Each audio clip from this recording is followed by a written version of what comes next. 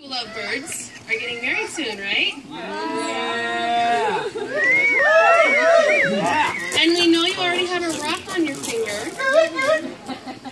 But and we're gonna impersonate three relatives that are here tonight. And if you can guess who they are, we'll give you another rock. Yeah. We're gonna give you some marriage advice.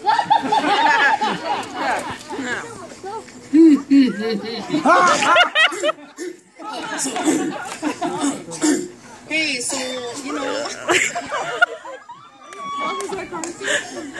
some good marriage advice I, I might think of would be to make sure to close the outhouse door when you're, when you're going to the bathroom. Oh yeah, about that one time when we were at Old Egg Lake with the boat. Oh, that was back in Wisconsin. Oh, oh, sorry, sorry. This was for, for you guys. Did you bring your bags that day? This is for these guys. Marriage advice. You guys don't know what you're talking about, man. Okay? I have the real advice. First of all, kissy, kissy, kissy. Kissy, kissy, kissy.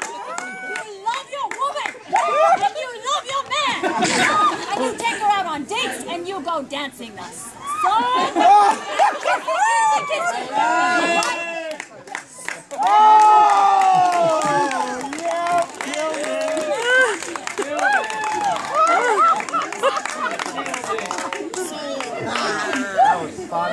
So, uh, you want some popcorn? Yeah, let's go get some popcorn.